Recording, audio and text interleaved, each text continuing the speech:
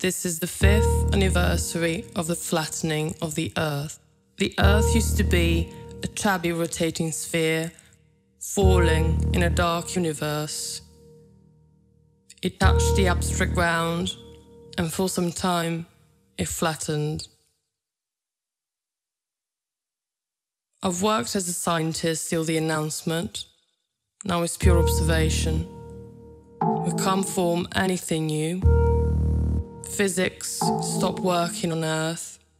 We can't experiment and communicate. We've almost lost numbers, languages.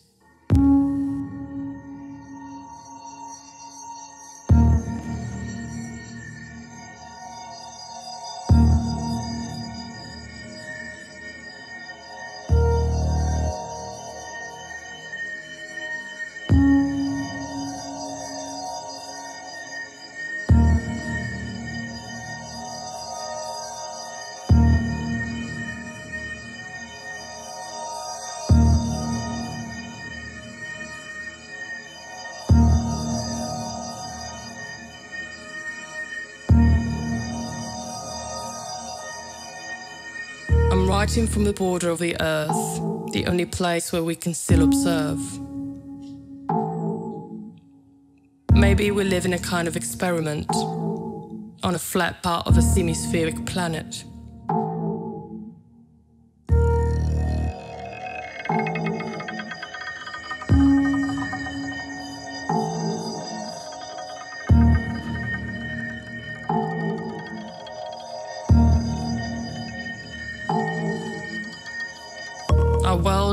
Same as before, but the other side is impossible to reach. We lost gravitational force when we turn flat. We perceive other forces somehow.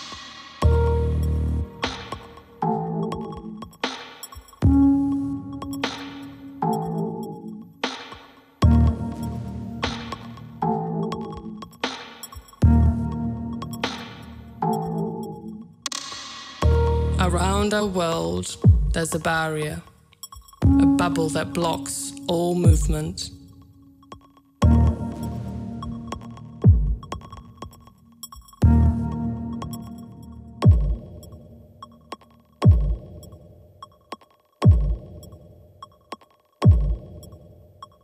The semispheric part of our planet could be a parallel version of our world, one that hasn't become flat.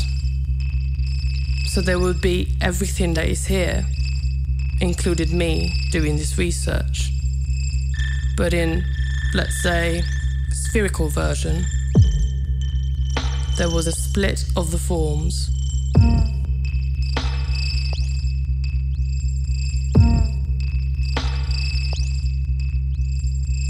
Others say that when our planet turned flat, all continents, oceans, and all the matter was sucked up to the top, forming this flat cap.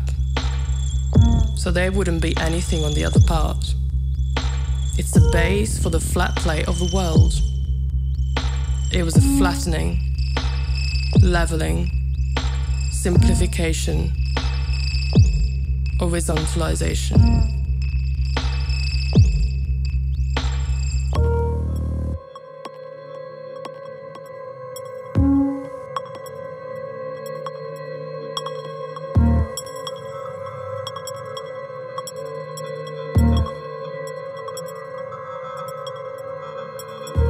Territory has remained intact, as we've always remembered it.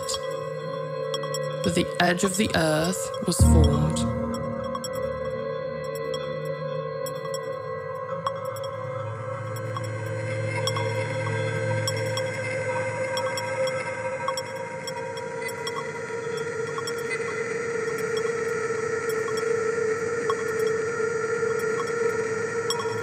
The edge did not exist before, on the sphere there are no edges. Do you remember?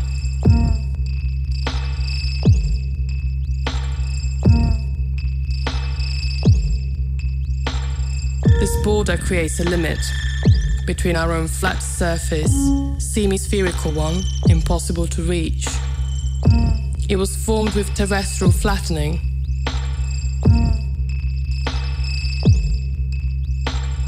On one side, the belt blocks the terrestrial waters from falling in the space of the universe. There is only one opening the Great Rainbow Canal. The sea level began to lower slowly until the flap was discovered. The crack in the edge of the belt. We managed to control its flow with a system of channels and dams, and now it can be used to keep the sea level constant.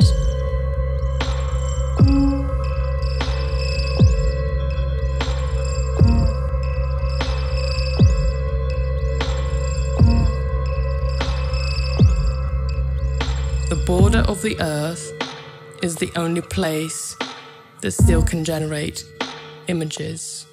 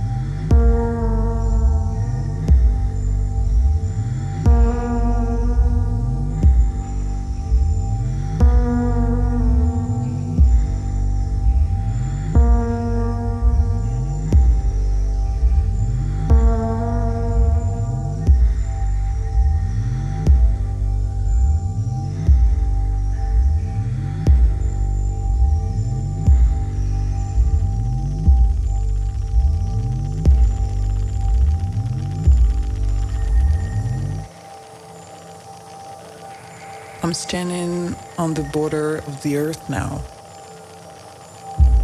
I've started to perceive some changes in my own body and mind. I transformed. My tongue, my language has changed since I'm here. I can see the great rainbow canal right in front of me. At a distance which I can measure.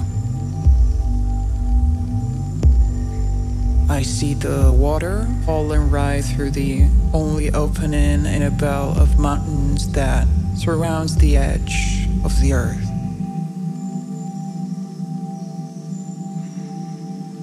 The amount of water is impressive,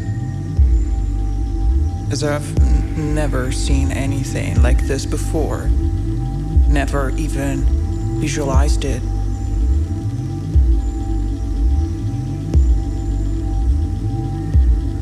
The water falling into the space of the universe creates specific phenomena that can be compared to the effect of a rainbow. It's something between the rainbow and the aurora borealis.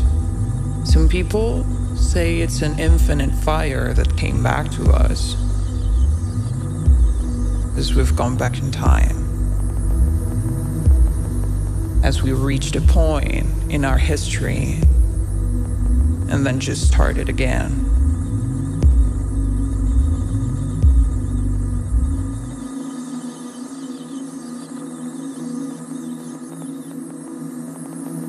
Great Rainbow Canal is our only connection with what's outside of the flat Earth.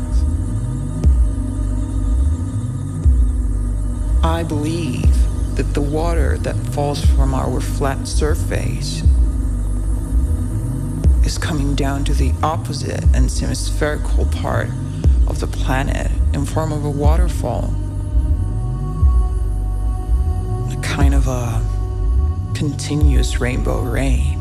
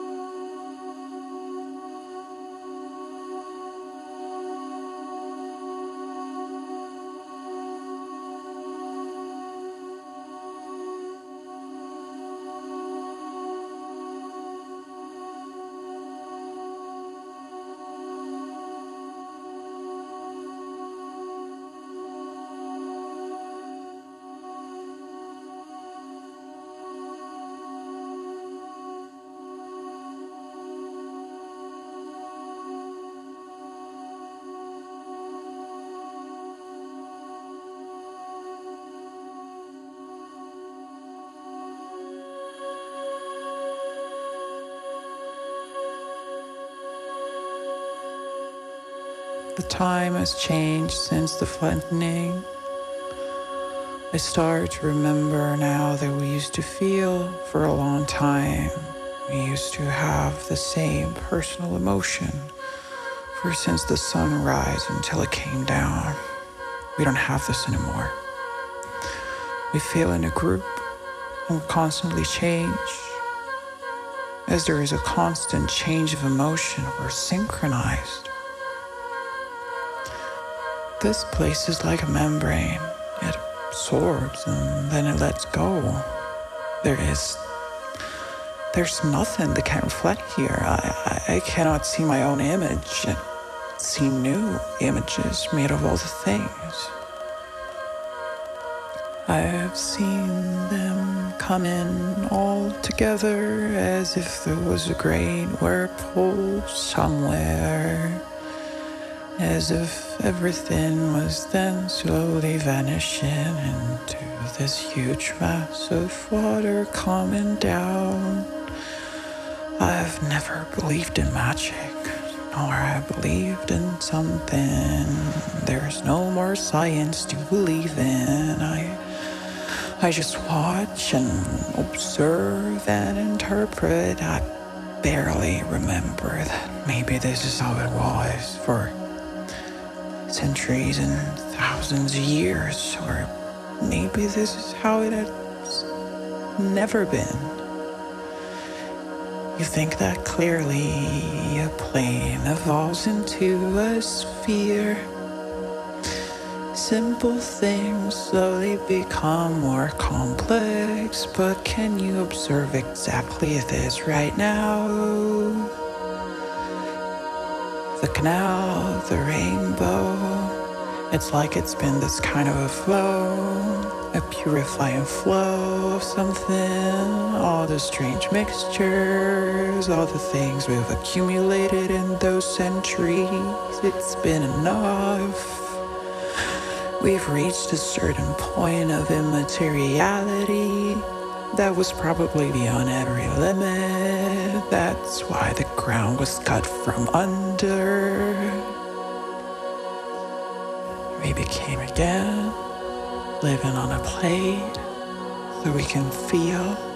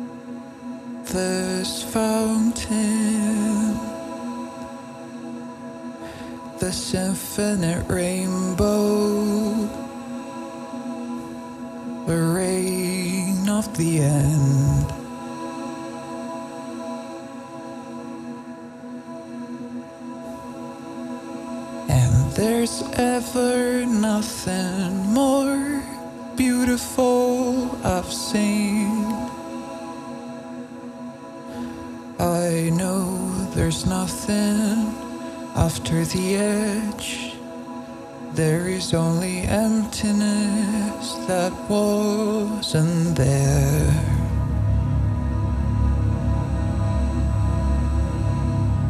And I am profoundly sad and longing for what was on my horizon.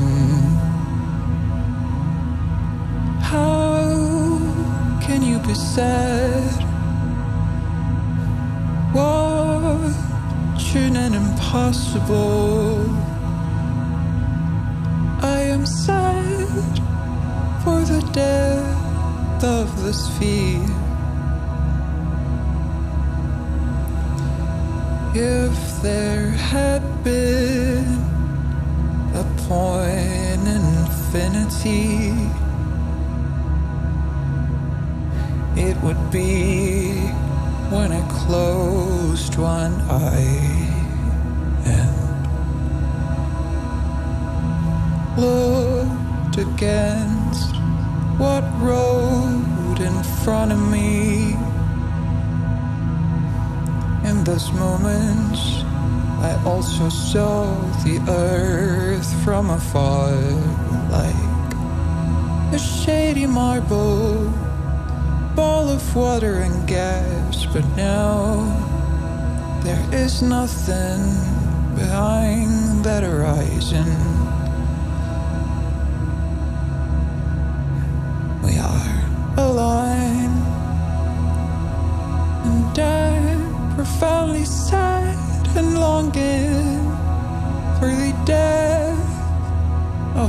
Of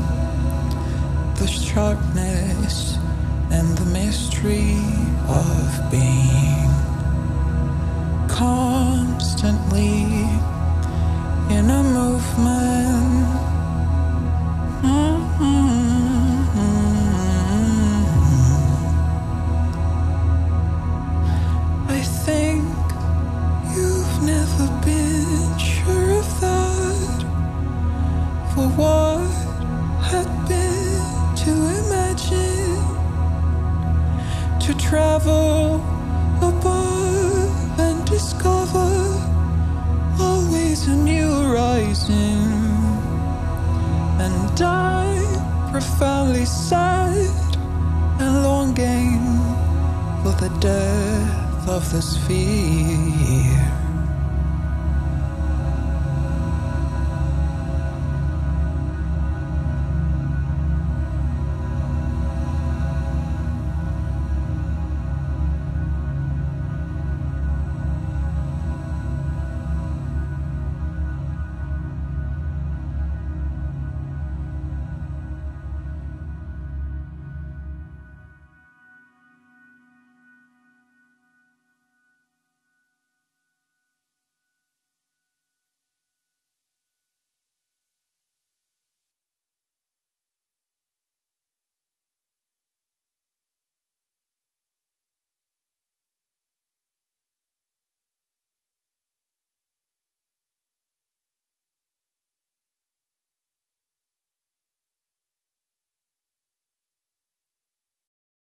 Thank you. Um, thanks so much, Joel, for organising this. Great. Um, so the title of my talk today, as you can see, is um, "Transforming Ideas of Earth: Burgeoning Ideas of Extinction, Revolutioning Revolutionizing Ideas of Intelligence." Uh, so, just to begin, um, yeah, I think I wanted to um, try and um, extrude this talk from the themes of uh, Natalia's film. Um, and I particularly love uh, the idea in the film of um, this radical sudden shift to the earth and our perceptions of it. Um, I think it's a really brilliant idea. Um, and so it made me think of places I could think of in fiction where um, similar ideas are explored. Um, I thought initially of uh, Ballard's The Drowned World, um, where um, an expanding sun, I believe, um, makes the Earth warm up, and it tells the story of how people, this external change to the planet, um, people cope with it with internal changes to their psychology. Less known, and I think maybe more interesting, is The Mysterious Force by J.H. Rosny the Elder, French science fiction author, uh, early 1900s um, in this story, uh, some aliens, um, extraterrestrials, meddle um, with physics and eliminate a portion of the um, color spectrum, the light spectrum, um, which by uh, tampering with infrared causes the Earth to cool and uh, creates a global catastrophe. Um, so these are similar ideas. I something about the theme I find very interesting. but relating this to my own work, I'm a historian of ideas um, I study intellectual history. Um, and it occurred to me that um, though obviously not physically or literally, um, the history of ideas is interested in the ways that apprehensions of the world, um, beliefs about it, uh, have undergone transformations, revolutions in the past, and how this has drastically altered our sense of our position and our priorities within that world. Um, so yeah, basically, I mean, this is the way I see um, these things, and this is what I'm interested in, is how across the past, changing and expanding our sense of what is uh, has changed and expanded our sense of what ought, um, alongside how best to live up to this. Um, so, yeah, without further ado, today I want to explore um, three major transformations in our sense of the Earth and our species and our place within it. First, uh, how unique the Earth's history um, as a planet that has developed life might be within the wider cosmos. Um, second, where we as Homo sapiens might be positioned within that wider earthly history. Um, and third, uh, what the rest of the history and diversity of other life on Earth can tell us about our peculiar, precarious endowment of technological intelligence. So, to start off with, the first transformation how unique is Earth's history? Um, so, to begin with, it would help to establish what I mean by unique here. So, um, based on the view of 21st century science, most of the cosmos appears abiotic, meaning inorganic or unliving, in both space and time. Uh, but Earth is the one place we know of where something historically novel has happened relative to this unliving past and backdrop. That is, life has emerged and taken hold. And what makes this special? Um, biology somewhat uniquely exhibits a history in a genuinely meaningful sense. Um, its present depends upon its past, and its future depends on its present, uh, meaning that forms can appear that have never appeared before, and forms can disappear never to return. The history of life appears to not repeat itself. Indeed, once biological forms are lost, uh, they are lost from the entire cosmos uh, forever, uh, irreversibly. Um, so species are precarious and precious precisely because they are through and through historical entities, historically fragile and historically unique, produced by chains of unrepeatable occurrence. Indeed, we uh, now all recognize, no matter how implicitly, that the Earth species are a product of its history in a special and strong sense. This evolutionary story that has taken place on Earth uh, and the on- organic products wrought by it uh, would be extremely unlikely to recur elsewhere, elsewhere. And with this comes the recognition that Earthborn life, as a familial whole, sharing one common origination in time and space, um, can persist into the future for meaningfully longer or shorter durations. Um, in other words, once life is gone, it is gone, which means that persistence becomes meaningful, survival becomes meaningful from the perspective of the wider universe. That's all just a fancy way of saying there is one Earth with one shared past and one shared future. Um, however, I argue uh, that for most of human history, this just wasn't possible to recognize. Um, the facts and the uh, scientific discoveries were not there yet. Uh, so ancient peoples, broadly and invariably speaking, didn't realize that in dying out, species forever lose the potential to ever exist again. Um, thus, they didn't realize that species could go extinct in the sense that we now recognize. Um, they thought the species could be wiped out from some region or even from all of Earth, but in the eternities of time and space, the species would return somewhere or somewhere else um, in time. Um, species cannot lose the potential to exist. There was therefore no acknowledgement that species are historical entities, which are historically fragile, dependent for their present existence on uninterrupted chains of descent uh, backward descent and reliant for their continued survival on uninterrupted chains of forward succession. No acknowledgement that species are thus unique to the Earth and its unique history, such that if they die out here, they die out everywhere forever. Um, and so, zooming in on ancient Greece, um, for thinkers, philosophers there, like Plato and Aristotle, for example, um, there was a very cyclical notion of time in history and quite a limited one in terms of its possibility space. Um, they broadly thought that in the measureless past, everything achievable had already been achieved here on Earth. Uh, and in the measureless future, everything lost will later be returned here on Earth. Nothing can be lost, nothing gained. Um, and for those pre-modern thinkers who believed in plural worlds. Uh, similar idea that um, the entire space of historical possibility was always concurrently, exhaustively manifested um, as actual uh, across all other worlds throughout the cosmos. Uh, this idea was common. Um, what's more, the space of historical possibility was not recognized to go far beyond what was currently observably actual um, on their doorsteps here on Earth. Um, so this idea cashed out as this this presumption that all worlds throughout the cosmos exhibit to varying degrees a history identical to Earth's. Just to put this into relief, here's a quote from the Roman philosopher Lucretius. He said quite confidently, in all other parts of the universe, there are other worlds inhabited by many different peoples and species. Uh, note the use of peoples there.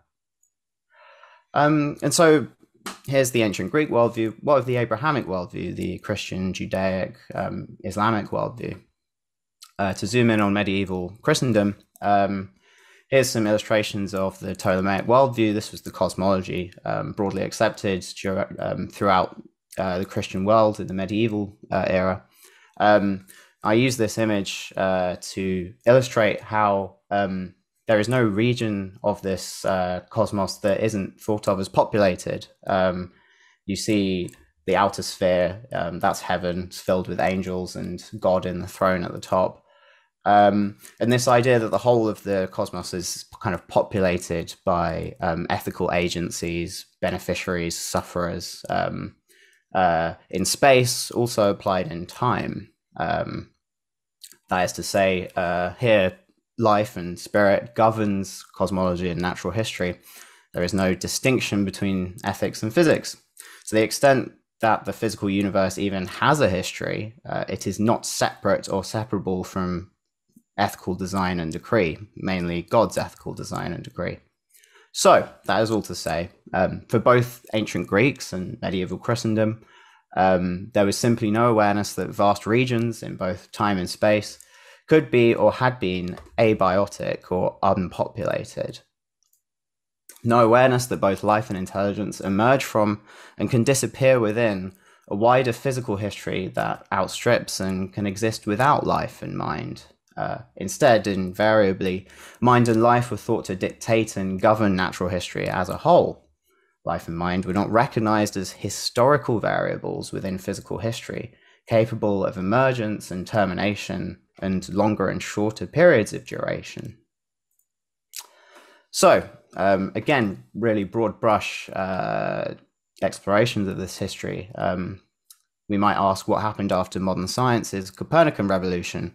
Um, this was the um, the uh, discovery um, through the invention of telescopes that um, the cosmos is much larger, the Earth isn't at the center, and the other stars appear to be other suns, which seem to make, which presumably have other planets around them. Um, you might think that this might have decentered and disrupted these old views um, and injected kind of historicity into wider nature, um, revealing life as emerging within and capable of dis- disappearing from this wider cosmic backdrop. Um,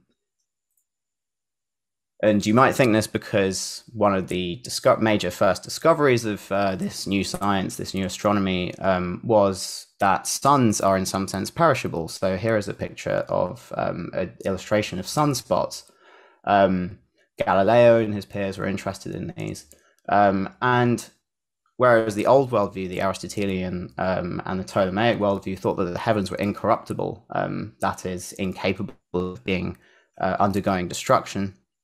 Uh, this discovery of sunspots um, implied that the suns themselves were perishable. So this might make you think that if a sun can die, then surely people would have to acknowledge that um, life uh, and the life of entire planets is subsumed within his- this wider history in the sense that it can go extinct. However, uh, no, the old view, the old um, worldview uh, persisted in various ways. Um, so uh, here's a quote from Bernard Fontenelle, a French writer. Um, he says uh, that for some ancient stars that disappear, other new ones are born in their places, and that defect in nature must be so repaired, and no species can totally perish. Um, so what he's saying here is that suns might die, sure, but um, another one will appear elsewhere to take its place, and it will have planets around it that will be repopulated by the same species. Um, again, this idea that species might die from a certain region, but their potential to exist cannot disappear, such that they will appear somewhere else in the vastness of time and space. Similar comments here from another French writer, Benoit de Maillet, uh, in the 1720s. He said quite explicitly, Whatever may be the fate of this earth and its inhabitants, there are reason to believe that in the great multitude of globes contained in space, there will always be other terrestrial globes beside ours, which are inhabited by as many generation of men and animals. So again, this assumption that not just that the whole of space is populated by life, but it's populated by men, uh, humans, and animals. De goes on and says, when species or civilizations disappear in one globe, they reappear in another.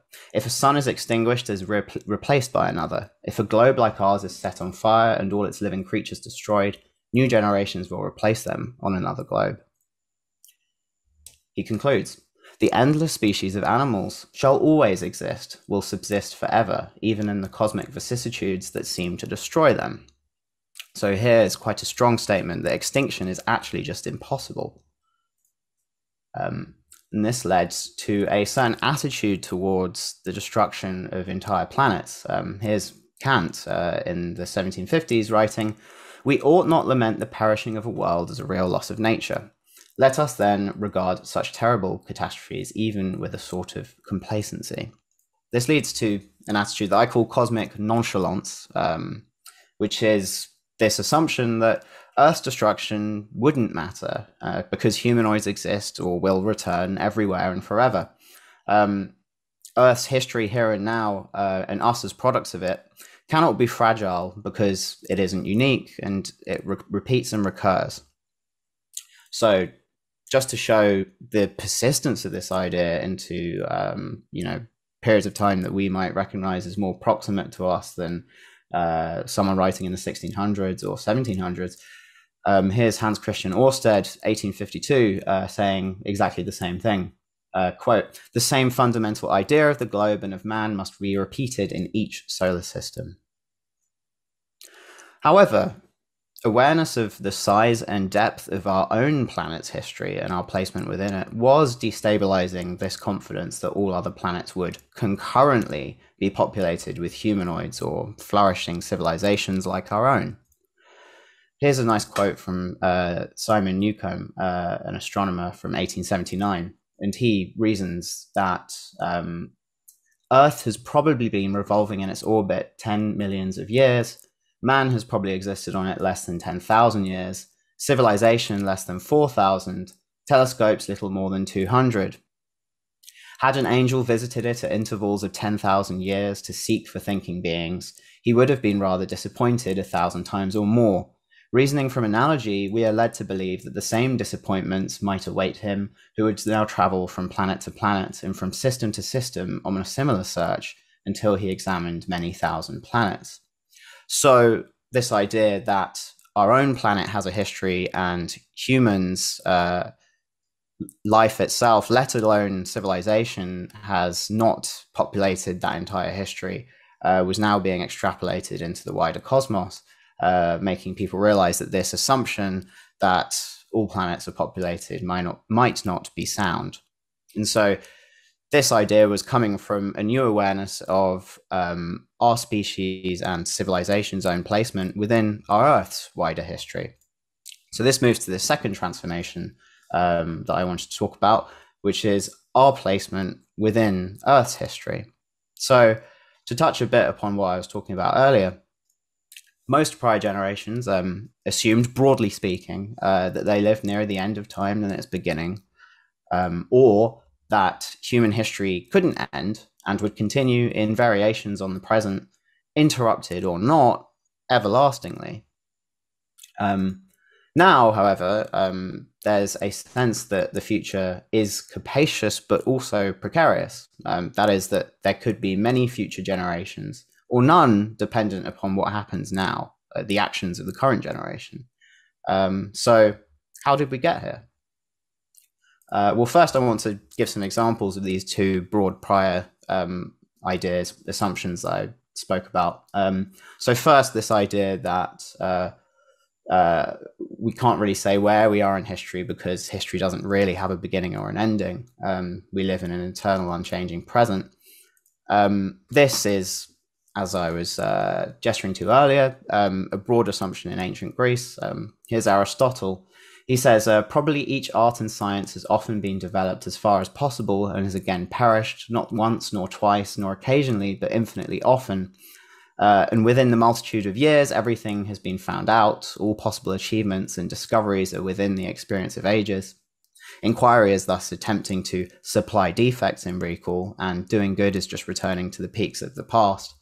Um, so, this idea that you know everything achievable has already been achieved and if we lose something now or destroy a species or lose some good achievement it will be returned such that there is no real placement within a wider meaningful history.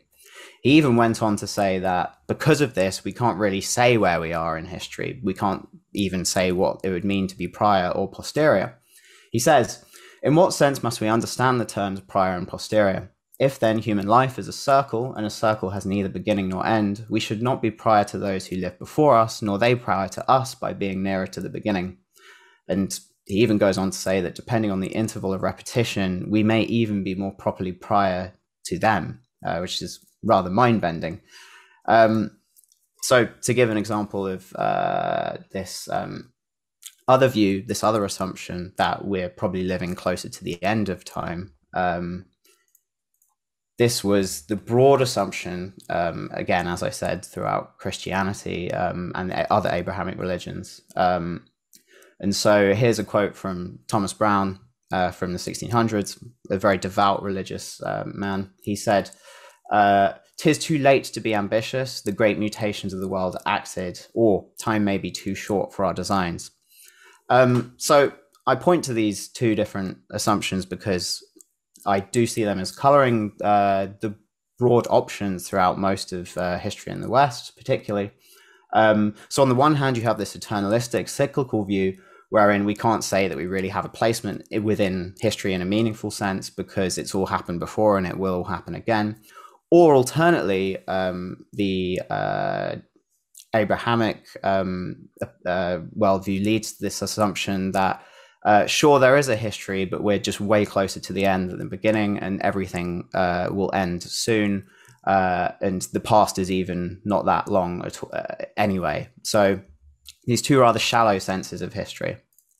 However, uh, from the 1600s onwards, um, geology had started to consolidate as a serious science. Um, these these earth sciences uh, by going on to theorize that the habitability of the planet um, had a definite beginning and will have a definite end eventually allowed people to orient themselves within earth's wider history. Um, that the habitability of earth and life itself is not eternal such that we can think of it having a future different from its past um, but also that its past and future are far off in deep time rather than proximate or imminent.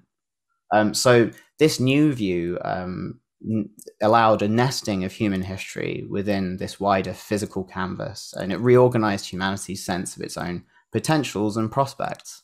So this begins even as early as uh, 16, uh, the mid 1600s. Um, Nicholas Steno, one of the first uh, major modern thinkers in geology, um, was pointing out that the evidence of the strata implies that there was a time on Earth before life had emerged. Um, so there was this clear begin- beginning, this clear beginning point um, within the history of the wider planet. Now, this led to a slow dawning recognition that life and mind emerge within wider physical nature as a historical product uh, that can therefore persist, persist for longer or shorter periods. It's contingent and variable rather than imperishable inevitability baked into nature from the beginning. Um, and so here in the 1770s, you get the first attempt to actually put a quantitative estimate upon uh, the size of the habitable past and also the size of the habitable future on our planet. Um, these come from the French naturalist Georges Buffon, who heated uh, some small iron globes and measured their cooldown times and then extrapolated that to the size of the Earth to arrive at these estimates. You know, a very rudimentary um, method and, and, of course, wrong, but at least he was trying and he was the first to try. So he put out this number of uh, 93,000 years until, as he said, all living matter becomes a corpse and all organized substance is reduced to raw matter. Um, so this was, uh, you know, the first quantitative estimate on Earth's future habitability. And this led people to therefore think of humanity and humanity's history, civilization, life itself more broadly, as being a product of Earth's history, is emerging within it, and being uh, being destroyed by it as well. So here's Henri Saint-Simon from 1813 saying, uh, the existence of the human species is linked to that of the planet. It is directly dependent on it. Uh, geologists agree the Earth was for a long time uninhabitable for humans as well as for all other terrestrial animals. And by corollary, at some future time, it will be uninhabitable again and the human species will die out. Now, and this is important, uh, is that by putting a clear backward stop on past habitable time, this meant that it became much more plausible to suggest, over and above the cyclical view of Aristotle that we were pointing to earlier, it became much more plausible to suggest that everything humanly achievable has not yet been achieved, here on Earth at least. Which was requisite the requisite physical backdrop for emerging theories of social progress. Here's uh, Marquis de Condorcet um, from 1794 saying that the progress of civilization has no other limit than the duration of the globe upon which nature has placed us, and so long as there are no changes, as would no longer permit the human species to persevere. Now, we might now see this as just a massively optimistic uh, statement of Enlightenment progressivism, which it is.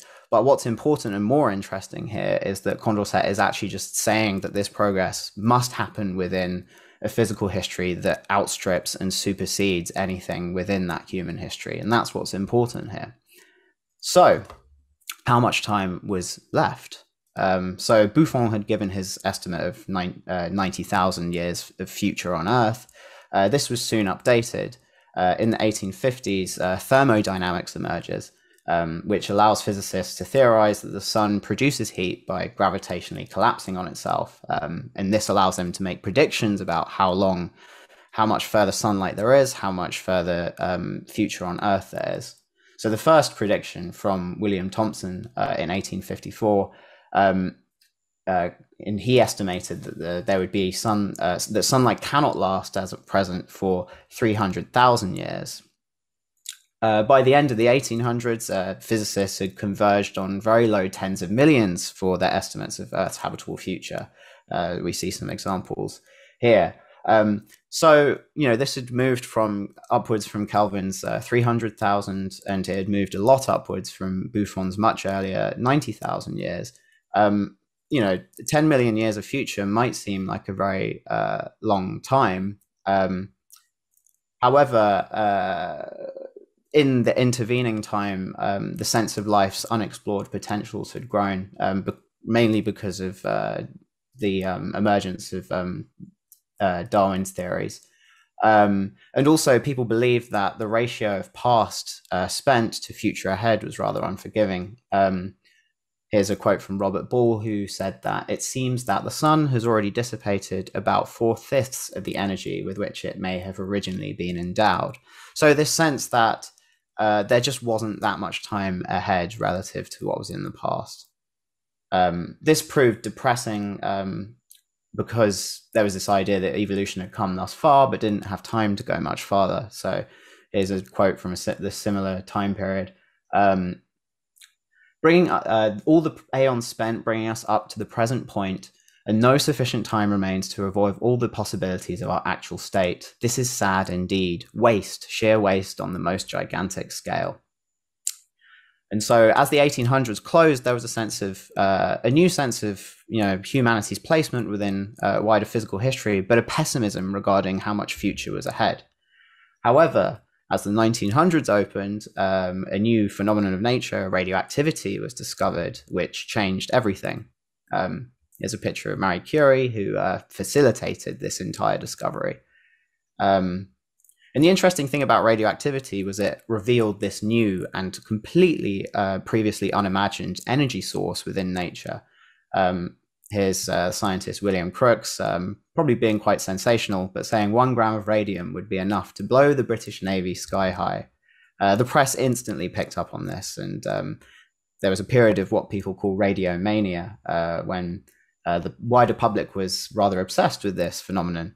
Um, but the interesting thing with uh, the discovery of radioactivity wasn't just the amount of energy, it was also that these radio elements decay on a time scale which was absolutely gigantic. Um, almost immediately, a clock was made powered by a pinch of radium, which was calculated to be able to run for 20,000 years. Um, people soon worked out that the actual timescales of decay were in the billions um, and even larger. Um, and so, what was important about this was this new uh, force of nature could be postulated as powering the sun, um, allowing it to go forwards for much longer than previously acknowledged. Um, almost immediately, people started saying that uh, the sun might be powered by radioactivity and the future mu- might be way larger than people had previously speculated or estimated. Uh, here's George Darwin, Charles Darwin's son, saying, Given the discovery of this new power source, I see no reason for doubting the possibility of augmenting the estimate of solar heat by some such factor as 10 or 20. So, what's important here was, as this quote uh, makes clear, that the discovery of this new form of energy has extended indefinitely the backward and forward sweep of cos- the cosmical timetable, as people said at the time. So the future was booming, it was growing massively. Uh, by 1920, the physicist Arthur Eddington was predicting 15 billion years of further sunlight. Uh, by 1928, the cosmologist James Jeans was forecasting a trillion further years. Um, he got this wrong, I must add. It was slashed to 10 billion in the 1940s and again in the 1960s to 5 billion years of future sunlight. However, what's important is this gives some sense of how drastically timescales were expanding during this period in the 1910s and 20s. Communicating this to the wider public in 1929, uh, Jeans visualized a stamp atop a penny balanced upon a 20 meter high obelisk. Uh, the stamp's thickness, he said, represented the 5,000 years or so of recorded history. The stamp and the penny combined represented our species' existence and the distance from the stamp down to the base of the obelisk being the age of the past age of the Earth. Uh, here's a picture of the obelisk that Jeans was visualizing um, to give some sense of the scale. And so Jeans continued in order to try and give a sense of how large the upper bound on the, this new prolonged future is.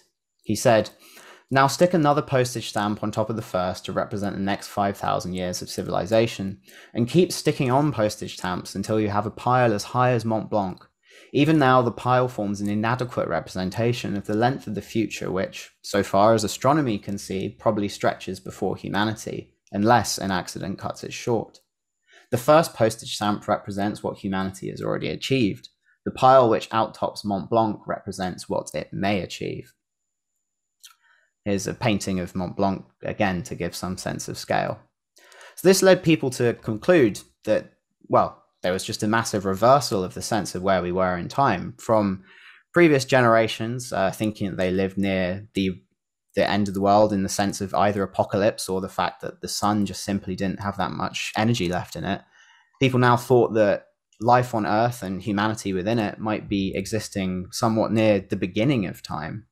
And so Jeans concluded, um, in rather evocative terms, I think, he said, We are creatures of the dawn with unimaginable opportunities uh, for accomplishment and unexplored potentialities ahead. So there was this new optimism.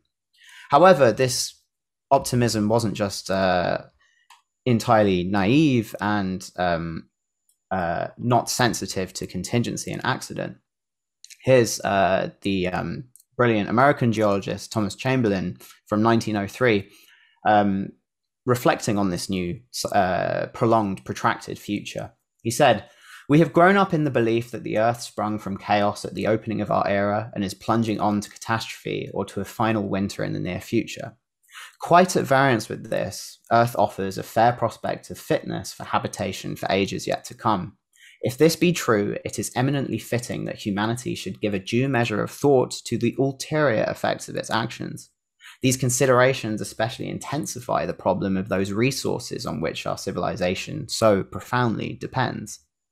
So, this sense that there's now this um, massively extended future means that there's more potential to uh, do good within that time, but also more potential to do damage now that might foreclose those potentials for good.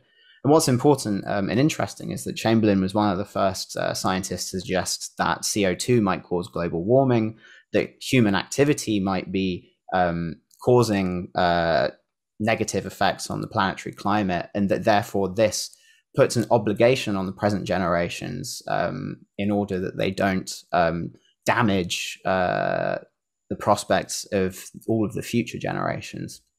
So he was a very prescient thinker. Um, so again, these thinkers, even if they were very optimistic about this large future, were still sensitive to the fact that it could be cut short.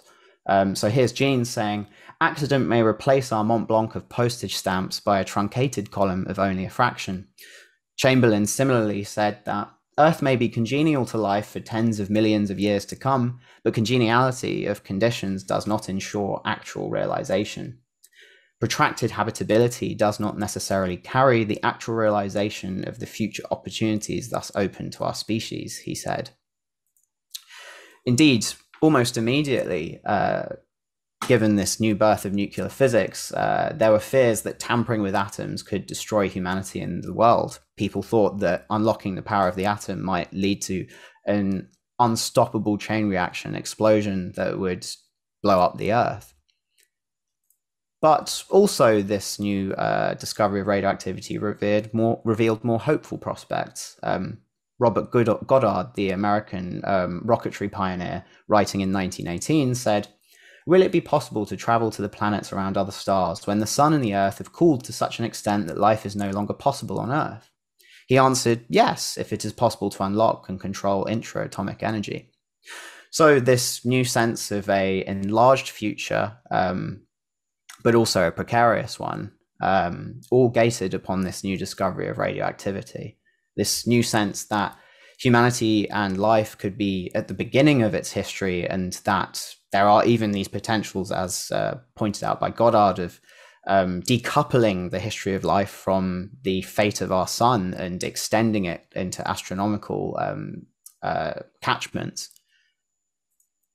So to close, the final uh, transformation that I want to look at is um, this question of the inevitability. What is the historical inevitability of intelligence? Or, um, as I put it here, would intelligence get another chance if we, aka humanity, fails?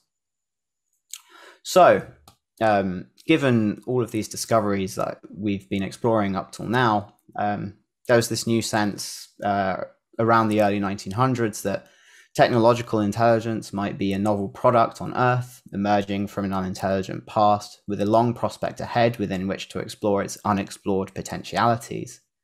But to return to what we were talking about in the first section, what of those other planets elsewhere? Does the same history play out there? This leads naturally to another question. If intelligence is common elsewhere, and one of its potentialities is unlocking atoms and spilling outward into deep space, then why isn't ET already here? This uh, outlandish but fascinating question uh, was beginning to be asked in the 1940s against the backdrop of the burgeoning space age. So, as an example, here's the uh, paleontologist uh, Chardin in 1945, um, a speech he gave in Beijing, uh, asking this question. He said, If journeying between celestial bodies were practicable, it is hard to see why we ourselves have not already been invaded. Similar, a lot of intellectuals started asking this question around this time. Uh, here's the American anthropologist Loren Eiseley. Um, he said, since we now talk endlessly of space rockets, it is not no surprise that this thinking yields the obverse of the coin, that the rocket or its equivalent may have come first to us from somewhere outside, Surely, in the infinite wastes of time in the lapse of suns and wane of systems, the passage, if it were possible, would have been achieved, but the bright projectile has not been found. Indeed, since the 1930s, growing cosmological evidence of um, the receding galaxies um, had, grown, had been growing to imply that the whole observable universe itself also may have had a definitive beginning. As earlier with geology giving our own planet a definitive beginning, this new cosmology implied a backstop on past time for the whole cosmos, within which life across the whole observable universe may not have already achieved everything it is possible for it to achieve. Perhaps then it becomes possible to suggest that we are just among the very first technological intelligences to evolve. And this is exactly how Eiseley answered his own question. He said, Moreover, the present theory of the expanding universe has made time as we know it no longer infinite. If the entire universe was created in a single explosive instant a few billion years ago, there has not been a sufficient period for all things to occur, even behind the star shoals of the outer galaxies. In the light of this fact, it is now just conceivable that there may be nowhere in space a mind superior to our own. However, one residual form of cosmic nonchalance uh, remained, and this is the conviction that if humanity extinguished itself on Earth here and now, some ad- other animal, perhaps one of our fellow mammals, would evolve to take our place, becoming bipedal and technological. Some have uh, rather charmingly called this the planet of the apes hypothesis. It goes all the way back to Darwin. In 1860, in a letter, he speculated if every vertebrate were destroyed throughout the world except the now our now established reptiles, millions of ages might elapse before reptiles could become highly developed on a scale to mammal equal to mammals and possibly more intellectual. Beginning with Darwin, this speculation trickles throughout uh, the history of evolutionary scientists uh, here's the paleontologist William Diller Matthew in 1928 speculating and conjecturing a similar hypothesis. He thought that if there was a mass extinction, uh, as he said, life would commence, recommence its slow upward climb with the leisurely steps of progress from such higher stages as survived. And he speculated that, quote, in the far distant ages to come, the future destiny of the world might be committed into the hands of some super intelligent dog or bear or glorified weasel. Um, and even the lizards might rebuild the age of the reptiles, evolving into progressively higher intelligent animals. Um, just to show the persistence of this rather strange line of thought, Carl Sagan even uh, couldn't help himself and uh, in- indulged in similar speculations, um, thinking that the dinosaurs might have uh, become intelligent, uh, writing and reading books uh, had the comet not hit. Um, and here's uh, illustration of this um, rather strange um, presumption, preoccupation. Uh, however, um, to begin to wrap this all to a close, um, the question of the cosmic inevitability of technological intelligence had actually already begun to be put to the test since the early 1960s. Um, that is, in the search for extraterrestrial intelligence, SETI, um, radio antenna had started scouring uh, for aliens in the Milky Way and had found nothing but silence. Uh, moreover, an alien intelligence had been discovered on our own planet, the dolphin. Um, and it had become clear through this discovery that dolphins are in fact highly intelligent, um, which was a discovery of the 1960s. Um, it became clear through this that there is nothing inevitable about big brained animals um, developing advanced technology. Um, and this made suddenly this discovery that dolphins are highly intelligent. They just haven't uh, been compelled to develop telescopes or atom bombs. This made our own form of intelligence just suddenly seem so much more cosmically contingent and fragile. People went on to romanticize the dolphin. Uh, here's Eiseley again saying that the dolphin is an almost disembodied intelligence floating in the wavering green fairyland of the sea, an intelligence possibly near or comparable to our own, but without hands to build, to tr- transmit knowledge by writing, to alter by one hair's breadth the planet's surface, or poison with strontium the planetary winds. If man had sacrificed his hands for flukes, the moral might run, he would still be a philosopher, but there would have been taken from him the devastating power to wreak his thought upon the body of the world. Now, this is, uh, you know, Eiseley's a beautiful writer, but this is just pure romanticism. This idea that um, somehow dolphins are just as philosophical as us, they just haven't got technology. Uh, this is just a modern form of the prelapsarian uh, myth of uh, Adam and Eve in Eden. Because technology is not an optional qualifier of the human, uh, it is technology that, in fact, made us philosophical. Um, if it wasn't for the surpluses of food and energy uh, bequeathed by technology, we wouldn't have the time uh, or the comfort or the energy to sit around and think and ponder. So, our ability for truly consequential altruism and for poisoning the planetary winds have the same root. We wouldn't have one without the other. It is an entirely contingent endowment, um, seemingly cosmically so, and backed up by the evidence of the fact that there are other intelligences on Earth, other highly advanced intelligences, cephalopods and cetaceans, but none of them are technological. Um, so it is entirely up to us what we make of this cosmically contingent endowment. Um, so yeah, the prelapsarian path of the porpoise is close to us. Uh, why not? One cannot be philosophical without being technological. So if uh, humanity killed itself, would this technological intelligence evolve again? By the 1960s, and given this discovery of our fellow intelligences in the dolphins and this revelation that there's nothing inevitable seemingly in the bipedal technological humanoid, people had finally arrived at a, um, a full picture regarding our contingents. William W. Howells uh, wrote this in 1960.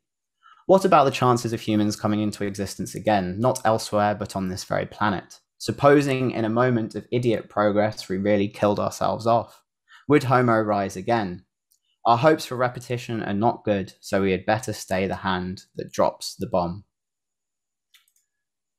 And so finally, by the 70s and 80s, uh, a new appreciation of um, our uniqueness as a product of a unique planetary history, unlikely to be repeated or occur elsewhere, or to have already happened elsewhere, uh, was falling into place. Um, here's a quote from Jacques Monod, the French biochemist from 1970. And he sums this up very nicely, I think. He says, At the source of these errors, of course, is the anthropocentric illusion. The heliocentric theory, the concept of inertia, and the principle of objectivity were never enough to dissipate that ancient mirage.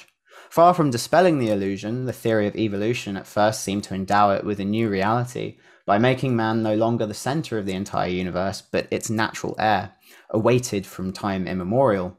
It was not until the second half of this century that this new anthropocentric illusion, propped on the theory of evolution, collapsed in its turn.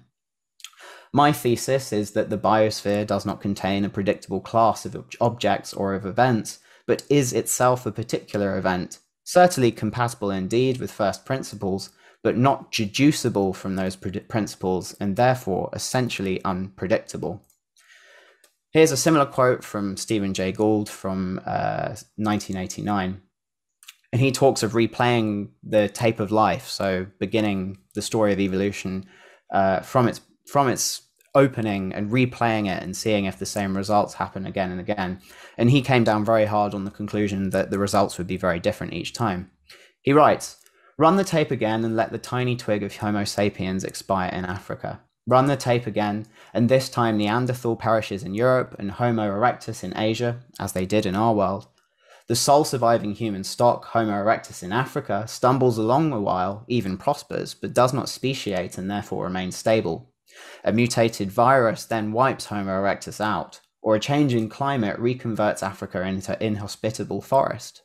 One little twig on the mammalian branch, a lineage with interesting possibilities that were never realized, joins the vast majority of species in extinction. So what? Most possibilities are never realized, and who will ever know the difference?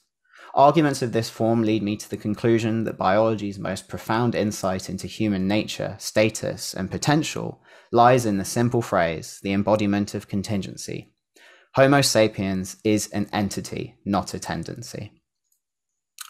Okay, so just to conclude, um, I want to run through some of the basic insights that I've been trying to cover here. So, throughout history, it seems that um, there's a direction of travel in our discoveries, and these insights flow from that. Uh, first, we and our fellow life forms appear to be the product of a unique and contingent history, one that won't repeat here or elsewhere. There is nothing inevitable about humanoids or our peculiar, peculiar, precarious technological form of intelligence. With that form of intelligence comes philosophy, alongside the, the ability to both improve the world and to poison it. And since the 1950s and hydrogen bombs, that technological ability has become potent enough to poison the biosphere irre- irreversibly, perhaps even to kill it. The future for life on Earth could be huge or it could end tomorrow based upon our ignorance and folly here and now. Moreover, it seems like we could represent the first and only foothold for life and mind within an otherwise silent and inorganic cosmos. Perhaps then we represent the first seed or catalyst that will tip the wider abiotic cosmos into a richer, more complex, more diverse biotic state. But this is just a potential, um, and it is up to us what we do with that potential, whether we squander it now or become worthy of our astronomically unlikely endowment. Um, and so, final slide just to close. Uh, I want to read this quote from the Soviet astronomer uh, Joseph Shklovsky from 1977. He wrote, Our loneliness in the universe is of great moral and ethical significance for humanity. The value of our technological and especially humanistic achievements is growing immeasurably. The knowledge that we are, as it were, the vanguard of matter, if not in all of the universe, but a giant part of it, should be a powerful stimulus for the creative activity of each individual and all humanity. The responsibility of mankind is growing to an enormous extent in connection with the exclusivity of the tasks facing it. The inadmissibility of regressive social institutions, senseless and barbaric wars, and self destructive potential is becoming extremely clear. Thank you. Thank you, Thomas. That was extremely stimulating. Um, I would start by asking if there are any questions from the audience.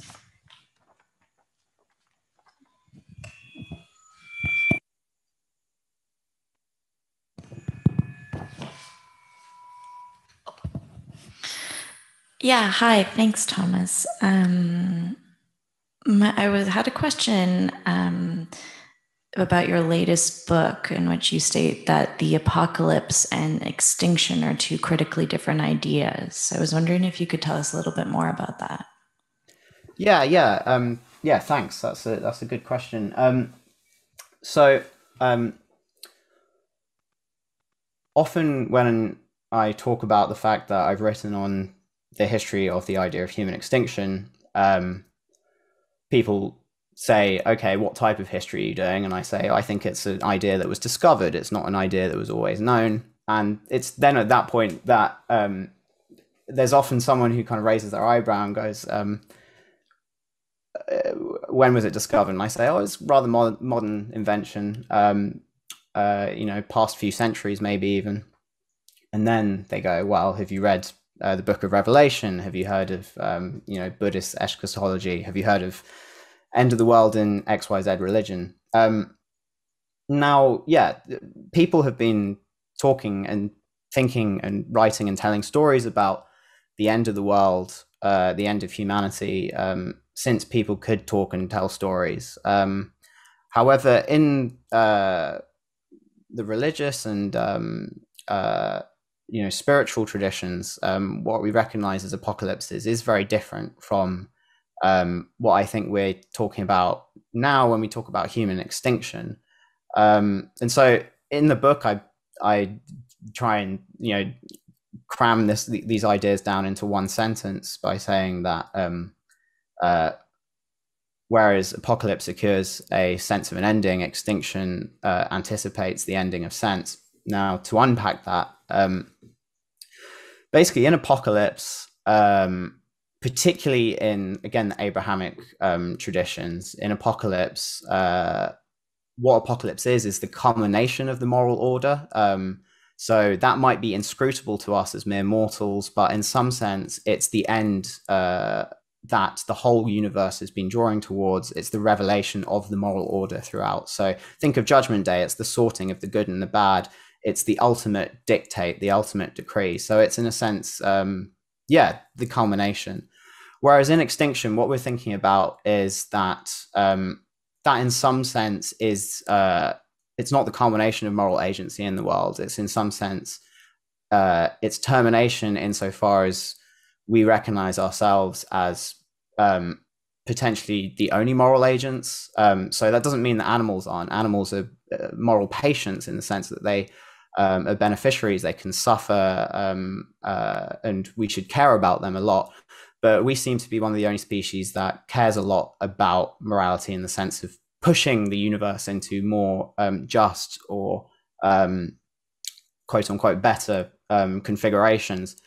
Now, obviously, that that faculty of ours is massively um, uh, fallible. I'm not saying, you know, I'm not being kind of one of those uh, 18th century Enlightenment progressivist optimist and saying that we're always good at that, but at least we have the potential. Um, so yeah, um, so so that's one thing is that um, extinction seems to be um, not the culmination of morality. It seems to be its opposite. It seems to be the frustration of what we might recognize as a moral order.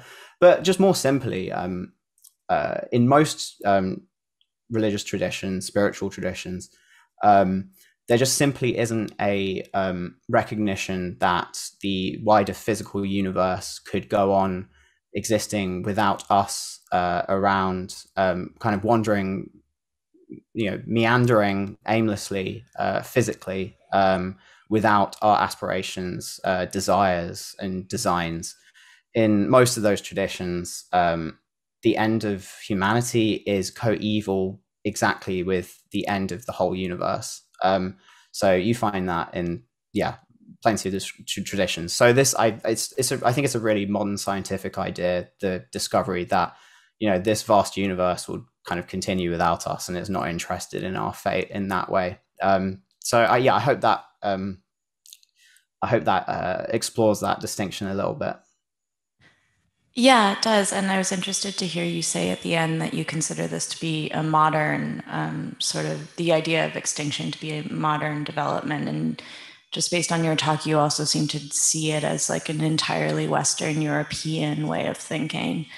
Um, and I wonder if it might be useful for you to think more about, um, you know, I'm sure you get this question all the time because it does seem to be like a major restriction in your research. Um, if we're talking about ideas of like cyclical time, non morally rooted apocalypse, I mean, the examples of these are multifarious outside of the Western world.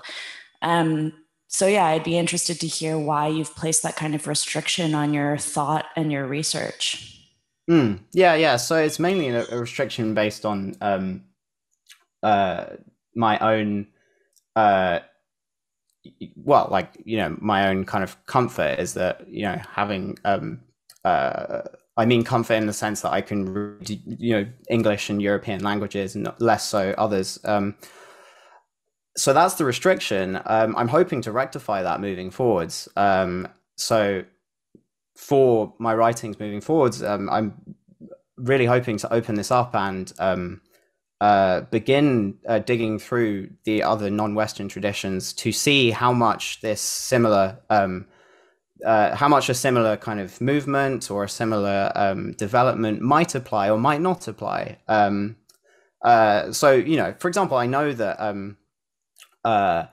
that, say, for example, um, the Indian tradition is very comfortable um, from much further back with vast periods of time that are not just like uh, meaninglessly infinite in that kind of sense that I was pointing out in the ancient Greeks, but are kind of me- mensurable but also enormous. Um, so I know that in other traditions there is like a real sense of deep time that it seems that it took the West a lot longer to arrive at and become comfortable with. Um, so I'm sure that there's uh, tons of you know um, interesting stuff to be found, and I, am just now embarking on um, trying to rectify the really Western centric aspect of my work so far. Uh, and moving forwards, I, I, really want to yeah improve on that and make um, make this more of a global story rather than because um, at, at, the moment, as you're right to say, it is very much a, a Euro uh, centric and European focused one. Um, so yeah, I mean, it's hard because um, it's it's hard because of uh, you know translation and also secondary literature, but um, that's no excuse. So moving forward, I'm yeah, I'm I'm hoping to um, rectify that. Particularly, I'm particularly interested actually in looking at uh, models of time in uh, philosophy um, and uh, history in China because there's this kind of uh, very simplistic idea. If you go back and look at history of ideas writing from say like the 1950s um, and before there's this idea that like all of all notions in uh, china um, have always been deeply cyclical.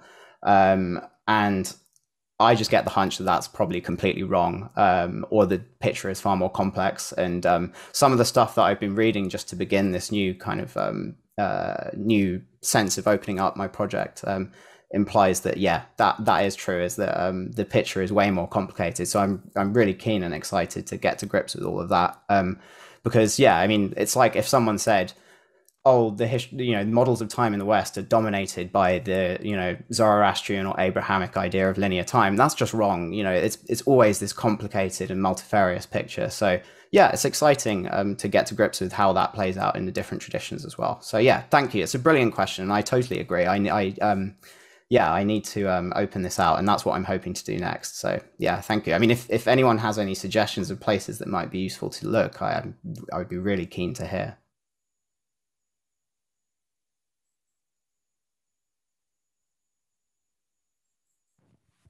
Hi, I do have a question that may be a bit more kind of like personal, like regarding your own definition of uh, existential risk and uh, and what you think uh, is the most urgent existential risk that humanity is facing today.